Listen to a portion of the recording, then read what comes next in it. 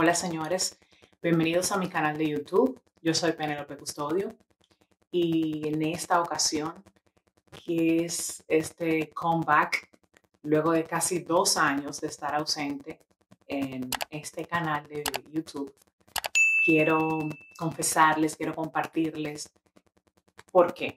O sea, las razones que hicieron que yo dejara de subir videos.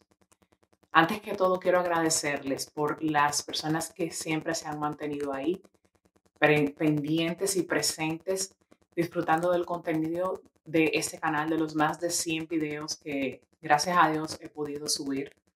Y bueno, aquí estamos nuevamente. Muchas razones motivaron mi ausencia durante este año y medio. Y ahora mismo le voy a contar de qué se trata. La última vez que publiqué un video en YouTube eh, fue en marzo del 2021. Esto, perdón, marzo, sí, del 2021, increíblemente. Y mm, fue uno de los podcasts de Mojiganga y también una entrevista para el canal eh, en la sección de entrevistas. Justamente en esos últimos contenidos que subí, estaba embarazada y no lo sabía. Luego de eso, pues, gracias a Dios tuve a mi bebé. Fue un embarazo que me mantuvo alejada de todo, incluso de las redes sociales, porque tuve muchos malestares, estaba muy indispuesta todo el tiempo. Fue esa niña que tanto deseé y por la que tanto le oré a Papá Dios. Y ahí está, ella se llama Lía Paola, les voy a dejar fotos por aquí para que vean esta hermosura y esta bendición que nos envió Dios. Y bueno, luego de que nace mi bebé, en diciembre del 2021. Eh, bueno, no luego de que nace mi bebé, sino justo antes, en, el verano del 2021, eh, tuvimos una situación a nivel familiar que, sin lugar a dudas, nos quebró a todos. Mi hermana, que fue muy conocida en este canal porque ella siempre participó de ciertos videos mi hermana Paola fue diagnosticada con cáncer de, páncreas en el verano, en agosto del 2021. Cuando fue diagnosticada, ya estaba en etapa 3 o etapa 4, no recuerdo bien. La verdad es que yo no tenía conocimiento de la gravedad del asunto porque debido a mi embarazo me ocultaron muchas cosas. Y siempre tenía la esperanza de poder ir. Yo no podía viajar en ese momento para la República Dominicana, em, pero ella vivió un proceso de un desgaste muy rápido, porque incluso le dieron una quimio y las cosas no salieron como les esperábamos. Fue todo muy rápido. Mi hermana le diagnosticaron en agosto del 2021 y lamentablemente mi hermana falleció en octubre 31 de ese mismo año. A partir de ahí les voy a confesar que yo perdí la motivación para todo, que yo le perdí el amor a todo, que lo único que me mantenía un poco en pie era mis hijos y tener a mi bebé.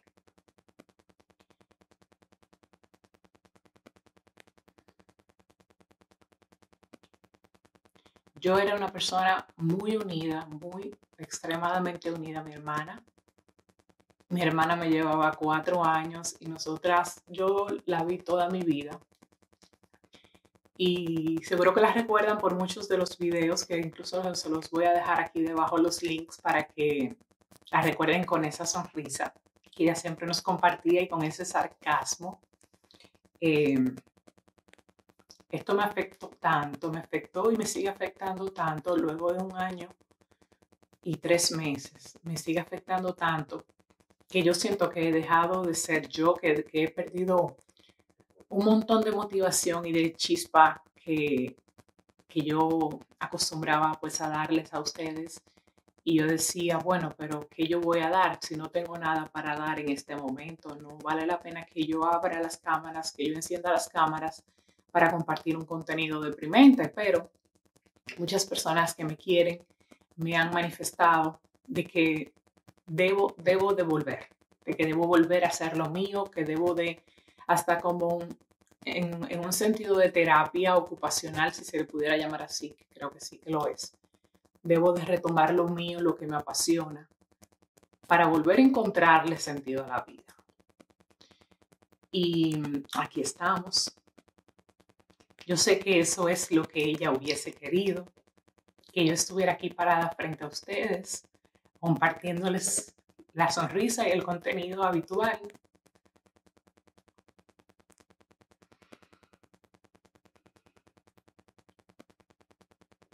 Y en honor a ella yo lo estoy haciendo. En honor a ella y en honor a mi mamá también. Porque ella es una mujer con tanta fortaleza. Se me desploma siempre cuando hablamos pero yo siento que ella ha encontrado en los últimos meses o semanas una fuerza que solamente Dios y mi hermana se la pueden proveer. Y esa misma fuerza se ha replicado en mí. Y eso ha permitido que yo esté aquí sentada con ustedes, abriéndoles mi corazón y, y contándole esto, que lejos de parecer un, lejos de ser un desahogo para victimizarme o, o lo que sea, es abrirles mi corazón para que sepan el motivo de mi ausencia. Yo respeto mucho cada persona que se ha suscrito a mi canal, respeto mucho su tiempo, el tiempo que me dedican. Y en honor también a ese respeto es que les estoy dando esta explicación, incluso sin ser pedida. Y valoro tanto que a más de un año de no compartirles contenido, sigan, sigan subiendo la cantidad de suscriptores y reflejándose en las visualizaciones que yo con el corazón en las manos tengo que decirle gracias. Gracias por tenerme la estima y la consideración y continuar consumiendo mi contenido. Bueno, entonces, una vez contado esto, quiero decirles que vamos a seguir creando contenido semanal. Eh, Espero que me regalen su like en los últimos videos y quizás en este, no sé, que, que me digan también, que me dejen en los comentarios qué tipo de contenido les gustaría ver. Honestamente estoy en un mood tan, pero tan familiar, tan deep, tan...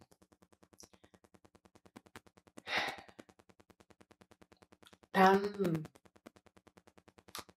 de encontrar mi motivación y tan de compartirle mi realidad, compartirles lo que estoy viviendo, que básicamente en eso se va a enfocar mi contenido ahora.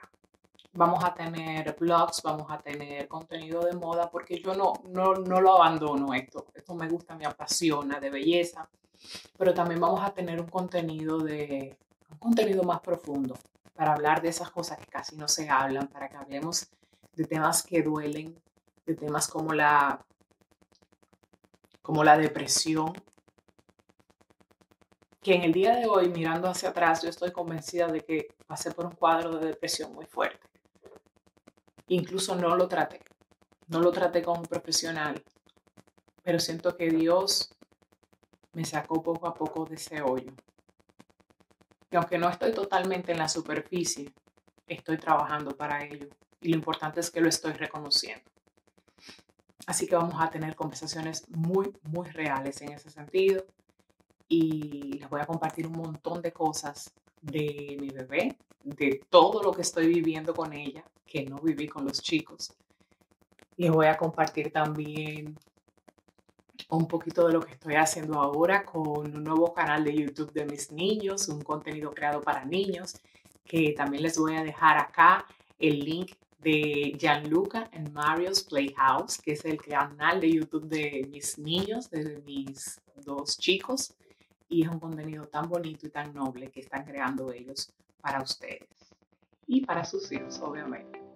Y por último, pero no menos importante, también quiero compartirles cómo ha sido llevar una bebé durante, un, durante más de un año de lactancia exclusiva Vamos a hablar de esos temas de lactancia, vamos a hablar también del autismo, de nuevas experiencias que hemos vivido en estos últimos dos años y que yo sé que a ustedes, ese público que tiene esa condición en su familia, en su vida, pues es posible que les sea de muchísima utilidad. Así que nada, señores, recuerden seguirme en mis redes sociales, arroba Penelope Custodio. Valoro un montón que se hayan dedicado estos minutos a verme. Eh, gracias por su consideración, por su cariño y nos vemos en una nueva entrega, en un próximo video y ya pues estamos de vuelta. We are back. Eh, vamos a seguir dándolo todo, así que suscríbanse al canal, compartan este contenido y los quiero muchísimo. Chao, chao.